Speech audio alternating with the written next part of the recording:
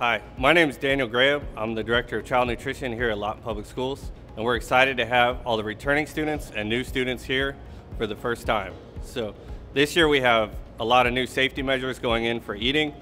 Menus are posted early so you'll know what you want.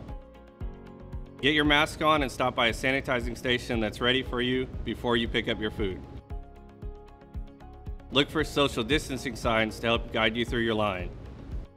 All meals are packaged to go so you can grab your food and go. And remember, have your ID ready for a touchless checkout. You may be eating in a classroom or different area than normal, so be sure to look out for that information when you get to school. Enjoy your meal.